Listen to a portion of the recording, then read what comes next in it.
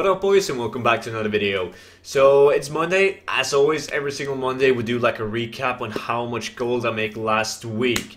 Now the last couple of weeks have been uh, pretty good, we've been making like a steady 4 or 500,000 gold a week and that's while doing only farms that I've enjoyed. No, uh, not only like farms that just gives me the highest gold per hour, because in that way I would be like way over a million golds a week. But I've been just focusing on having fun, doing transmog farms and so on that I enjoy, and we've been getting good return from it. Now this week, that uh, like last week and the upcoming weeks is going to be special though, because I'm, uh, I'm moving and I need to do a lot of renovation on the new place that I'm moving into.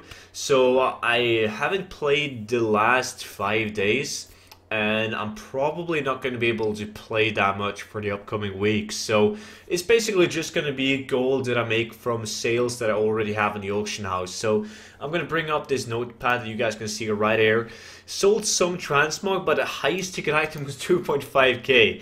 When we see the uh, the miscellaneous items, I sold two BOE items like Legion uh, World Drop Epics, one for 40k, one for 31k, and Coin of Many Faces and Shadowhood. So that gave me some gold. Battle Pets, jack shit. Most of the gold was earned doing materials. You can see I have the uh, usual Primal Fire and Pyrite ore that you get together with volatiles. And then you have uh, Essence of Water, you have Starlight Rose, and so on. So all in all, I made 241,000 gold this week. It's really bad if you look at like last week's 779,000 gold. I did, however, buy a game time token and an unclaimed black market auction uh, container, so you can bump this one up to like 450,000 gold. But anyways, it, it wasn't that good, and I expect the next weeks to be even worse, to be honest, because I did some farming this week in the start of the week. But uh, yeah, just wanted to give you guys an update. We're really close at 20 million. I'm currently sitting on 16,733,000 gold. So we're really close, but it's gonna it's gonna take a while until I reach 20 million because I won't be able to play that much. I've still made like a bunch of videos that I'm gonna upload, so uh, my YouTube channel is still most likely to some degree gonna be as usual. I'm gonna try and do like four to five uploads. Uh, a week, but it, it might decrease over time. We're going to have to see.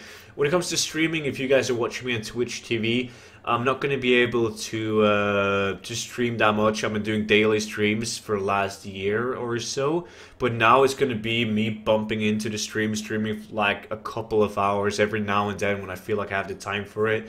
And as soon as I can move into the new place, I'm uh, going to be uh, streaming uh, every single day again. So I'm looking forward to it. We're also going to do like a 24-hour stream once I set my computer up in the new place and we're going to give away TCG mounts. So I'm going to come back with more information about that. So just uh, stay tuned. Thank you guys so much for watching, and uh, if you guys liked the video, you can always press that thumbs up, and uh, if you didn't like it, press thumbs down, and write Studen you suck in the comment section, and I will see you guys in tomorrow's video. Until then, bye bye.